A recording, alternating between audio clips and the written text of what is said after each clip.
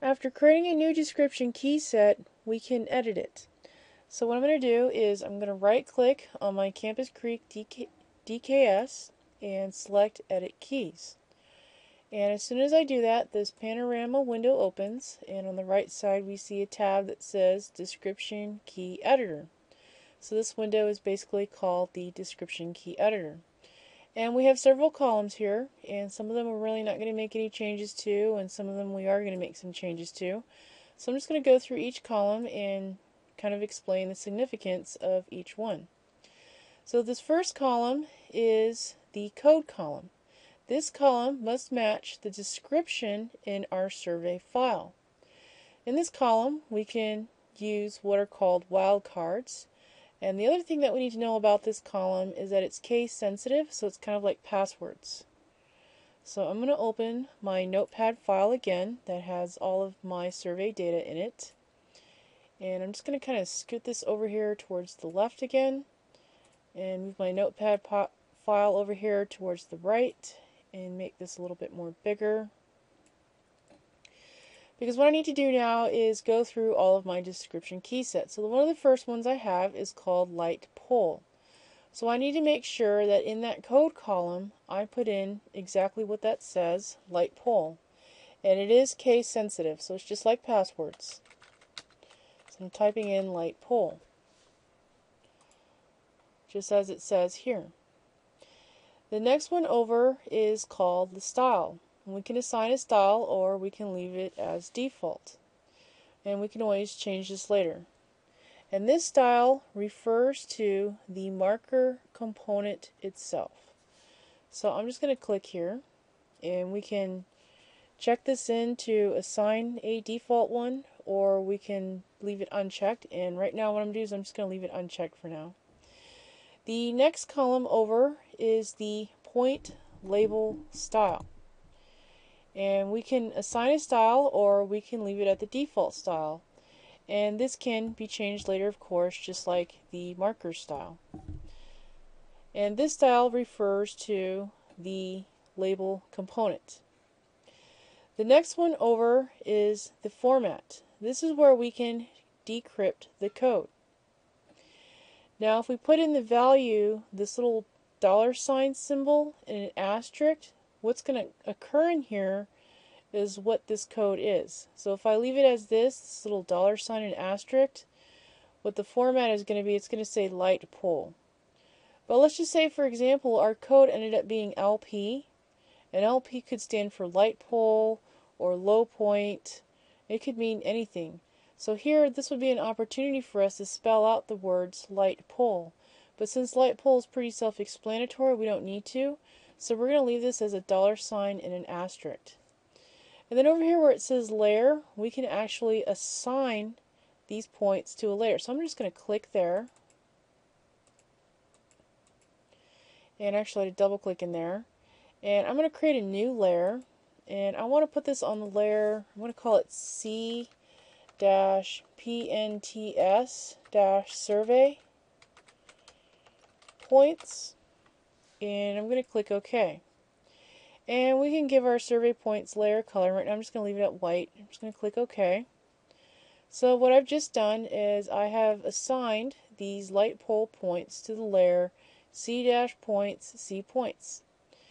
And then we have some other settings here. We have scale parameter, we have fixed scale, and we have use drawing scale, apply XY, apply Z, marker rotate, marker fixed, I think it's rotate on the end there, rotation, and several other settings here. And we're not going to do anything with these other settings, we're just going to leave that at default.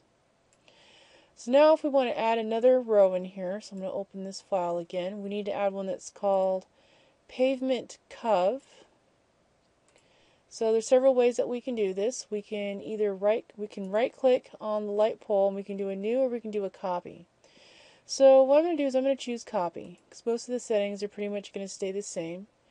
And right here for our code I need to type in exactly pavement cov. So I'm going to double click here. I'm going to type in pavement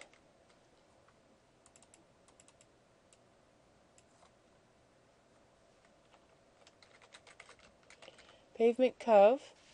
And all of these other settings, I'm going to leave it default. I'm not really sure what pavement cuff stands for, so I'm going to leave it at the S dollar sign. And I want it to be on this layer. So I'm just going to ahead and click off of it so those changes will take effect. And I'm going to right click again and do another copy. And the next set of code is my culvert corner.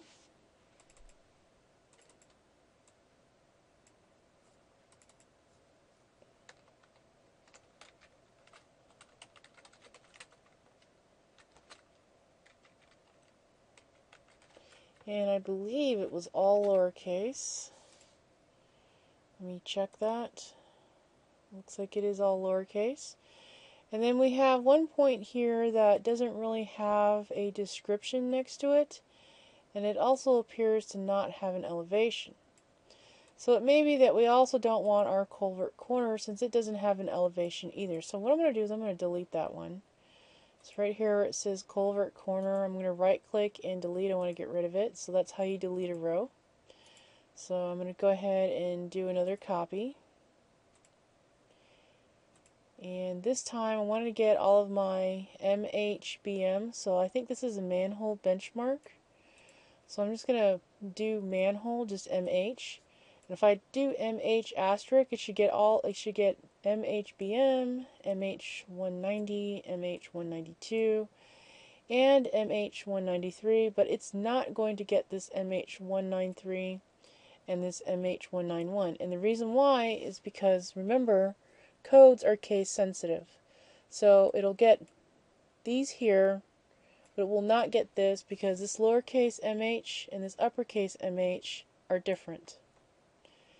So here I'm going to type in MH and I'm going to use an asterisk which is a wildcard which means it'll include anything with the letters MH in it and afterwards it doesn't matter what's there because I have a wildcard so pretty much anything with MH in front and it doesn't matter what occurs on the end it's going to include in this description key set. So all this other information here maybe here I might actually type in something so maybe I'm going to guess that this is a man hole benchmark maybe.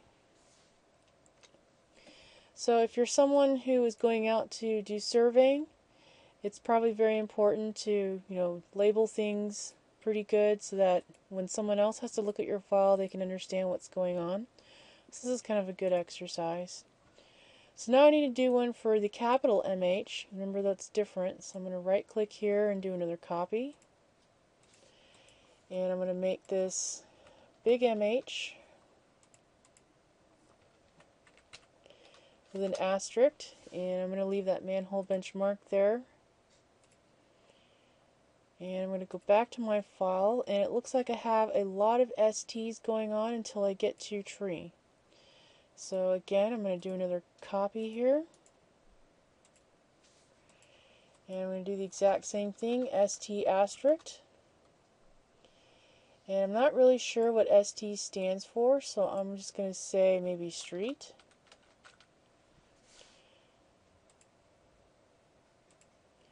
I'm going to do another copy.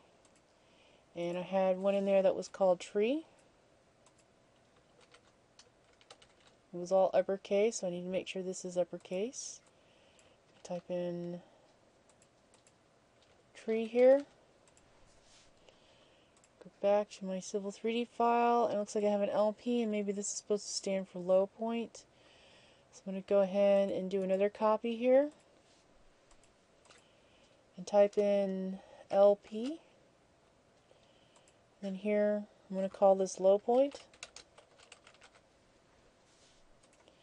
And just click off and go back to my notepad file. I have several STs going on again and the rest of this is just all STs. So for now I have several description key sets here. I have about seven of them in here. And if I wanted to, I could probably be more specific with my STs because right now it's going to group all of my STs as one.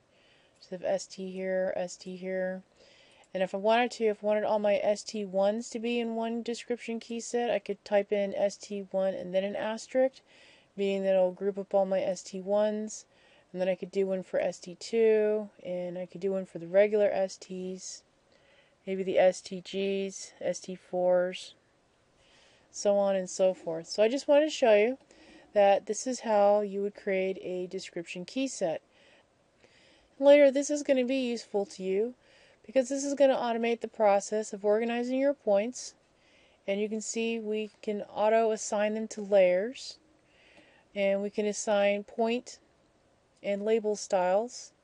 And we've pretty much converted some of these raw descriptions into full descriptions that make a little bit more sense to us. And we saw over here towards the end we can optionally scale things which we don't really need to do here. So once I'm done all I have to do is just click this little check box up here and there is my Campus Creek description key sets.